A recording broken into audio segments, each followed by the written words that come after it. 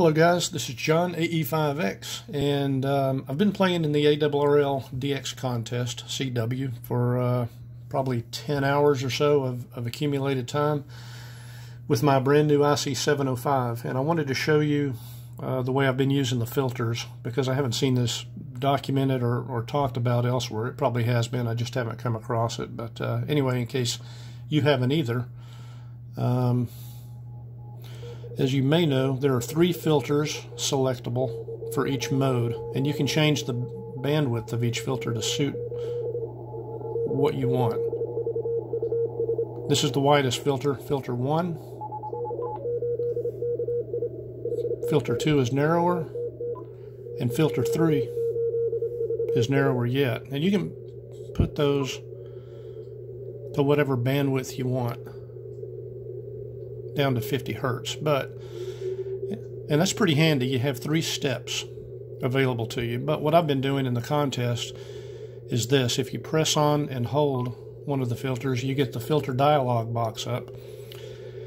And if you touch the bandwidth option here, you can change the filter on the fly. You don't have to settle for the three steps, whatever you've programmed in.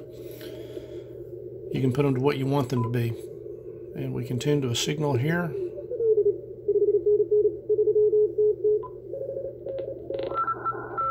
So I'm very wide here, and rather than going rather than going to another stepped size, I can vary it in 50 hertz steps or 100 hertz until I get down to 450, and then it's 50 hertz steps.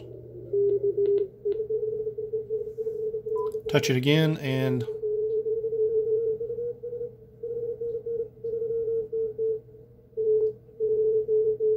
and it's back to being a, VFO dial here. So it's pretty handy to be able to do that on the fly and not be relegated to whatever three bandwidths you have programmed in uh, already for that particular mode.